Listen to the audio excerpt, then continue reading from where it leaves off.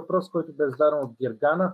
Как виждате бъдещето на работното място и взаимоотношения пост-COVID? Ами ние, първо може би да се представя на аудиторията. Рада Йосифова се казвам и отговарям за човешките ресурси в Райфайзен банк. От банковия сектор видях 8% от участниците в проучването. А, ние постоянно дискутираме за бъдещето на работното място, а, дали то ще продължи да съществува като такова или ще промени формата си, дали ще работим от офиса или ще работим всички от вкъщи или от всякъде, каквито и тенденции има.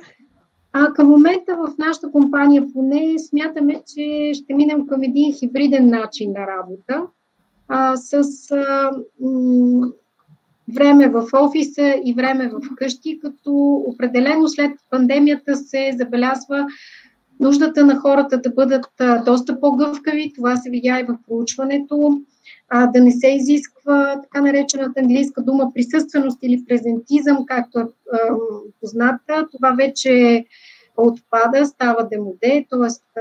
повече хората очакват да се, а, да се гледат резултатите и това, което е положил човек като усилия. А, така че по-скоро ние си представяме една гъвкава форма, но с присъствие в, а, в офиса. Да, здравейте и от мене. Да, просто искам да подкрепа Рада в това, което каза. Общо взето такива са тенденциите и това ще продължава като модел на работа, по-скоро хибридния модел. Модел, в който хората ще имат възможност да работят откъдето пожелаят, общо взето. Нали, това е, особено в IT компаниите, там около 80% от хората според мен няма да се върнат в офисите. Ако може аз да се включа, Александър Починков, VP of Engineering в, в Nexo.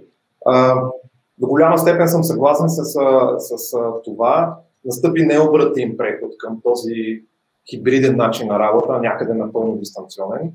Но пък, според мен, ще се връщат хора в фирмите и хората ще почнат да се връщат малко по-масово в офисите, след като естествено се види какво ще стане с този вирус, надяваме се да е всичко да, да се развие в положителна посока, но смятам и това, което виждам, е, че хората наистина имат нужда да се върнат в офиса, може би не напълно, не на пълен работен ден, наистина хибридно, но а, няма да, да остане така дистанционно, както беше през, през последната година.